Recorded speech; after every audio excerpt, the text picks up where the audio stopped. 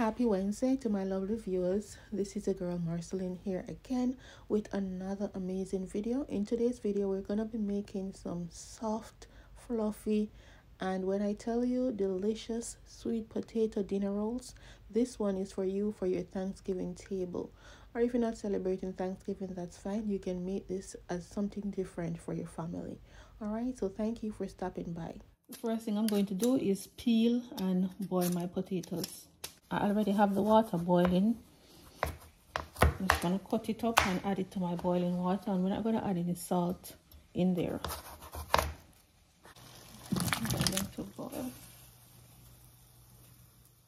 So now that my potatoes are fully cooked, I am going to put them in my blender and I'm going to puree them. So in my cup, I have one cup of whole milk. I will be using half of that to puree the potatoes and for the remaining half we're going to set that aside because we will be using that to mix our dough. Yes, you could simply mash the potatoes, but the reason I'm pureeing the potatoes is because if you know these sweet potatoes, they carries a lot of strings and you don't want any strings in your dinner rolls. So we're to go ahead and puree it until it is smooth. All right. For the flour, I will be using bread flour as usual it doesn't matter the brand but if you don't have any bread flour you can use all-purpose flour. I've used it to make my dinner rolls several times and it's fine all right so i'm going to use half cup of sugar and one and a half teaspoon of salt. You don't want to pour the yeast on top of the salt so ensure that you incorporate the salt into the flour. And then for the yeast mixture we're using the remaining half cup of milk making sure that it is warm and not hot and not cold i use one packet of yeast and an extra half teaspoon.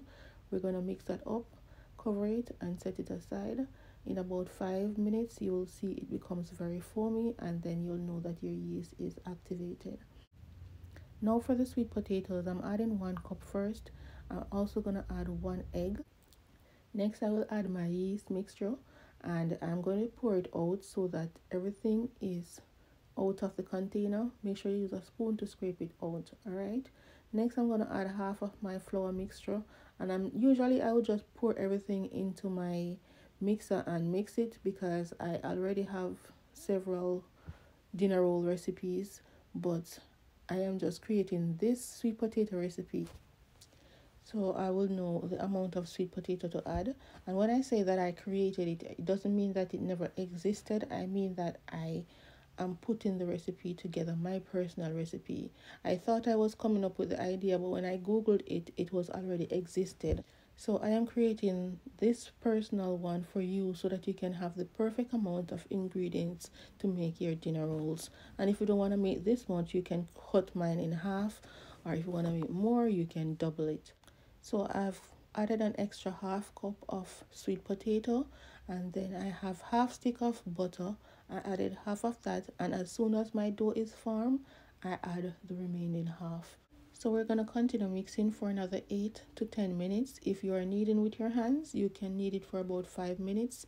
Now that it's done you can see how soft the dough is.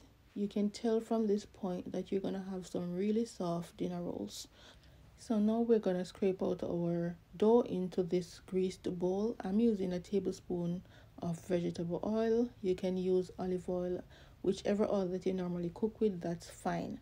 Making sure that the dough is greased on all sides so that when you're ready to remove it from the container, it is easy to be removed.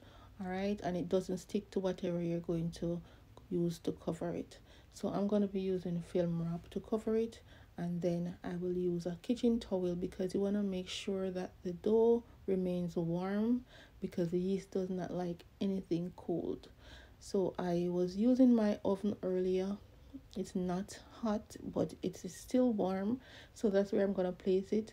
Or if your oven is already on, you can put it on top of the oven somewhere warm because right now it's cold outside and you want to find the warmest place. If it's even in your microwave, just put it in there and let it remain there for one hour.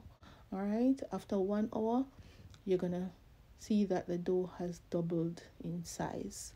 You can use your fist to punch it or just use your fingers to pierce it all around so that you can release the air bubbles that was created from the yeast. Or you can just give it another minute of kneading whichever one works. All right so we're gonna prepare our area if you have like a silicone mat or whatever you want to use for your dough. I'm going to be using my counter. I'm going to go ahead and make sure that my counter is clean and ready to receive my dough. And we're going to cut them up. As usual i don't always have the perfect size. Like they're all they're all not going to be the same size but i try to cut them in the same size. So dust your area with some flour, not too much, just enough to make your dough manageable.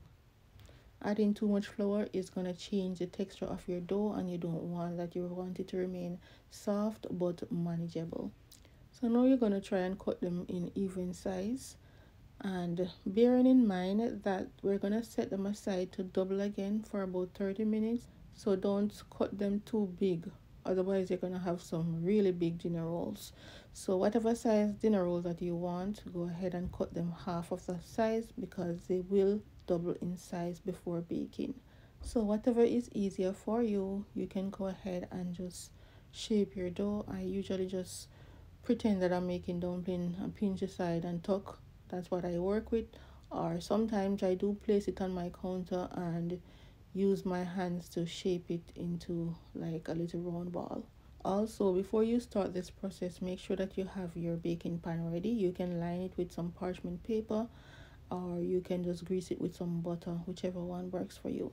So i cover them for another 30 minutes. After the first 20 minutes i set my oven to preheat at 350 degrees and they have doubled in size and they are ready to go in the oven.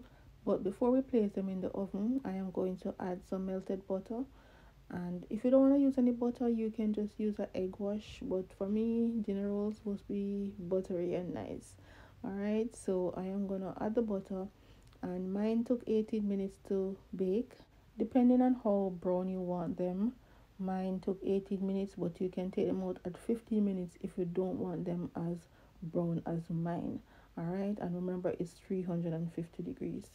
So they're out of the oven and I'm just brushing on some more of the butter. And I'm also going to be showing you how soft these are and when I say soft they are very soft and they are so so good my neighbor um texted me and told me that these were like the best dinner rolls she has ever had so make sure you go ahead and try this out this Thanksgiving. Place them on your table. Give your guests something new, something different. And I promise you they are going to thank you. They're going to enjoy it. Alright. I also made um, some more videos that I will be posting soon. I have this delicious herb roasted chicken to place on your Thanksgiving table. So stay tuned for that. I will be uploading that tomorrow. All right. Thank you so much for watching and enjoy the rest of your week.